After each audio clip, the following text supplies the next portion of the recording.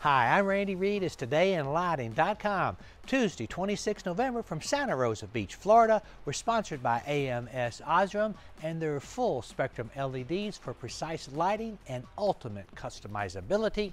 As our 25th year at the Edison Report begins to wind down, I find myself reflecting with gratitude, thankful for professional and personal blessings.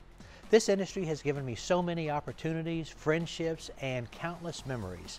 I'm deeply grateful for our Lifetime Achievement Awards, through which we've honored 75 remarkable individuals. Some of those honorees are no longer with us, making that recognition even that much more meaningful. I'm also thankful to highlight our People of the Year, and this year was our 16th annual recognition of those people. I'm very thankful that Designing Lighting Magazine will launch our first award in 2025 at LightFair. The Light Justice Now Award will focus on lighting underserved communities. I'm thankful for the ongoing support that has placed Edison Report in a strong financial position, allowing us to give back.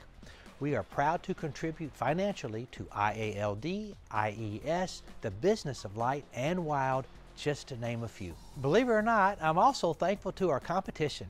It only makes us stronger and better. As a Christian, I'm taught the value of forgiveness. Recently, I reflected on this and I forgive a certain competitor who has said some unkind things about your humble editor. While I don't forget, I do genuinely forgive. This got me thinking. We all have burdens that we bear. Maybe this holiday season there's someone in your life who has wronged you. Carrying burdens and bitterness and anger isn't a healthy way to live. Forgiveness might just be the best gift you can give yourself this holiday season. Think about it. That's it. Go light up the world. Have a wonderful Thanksgiving. Pray for peace.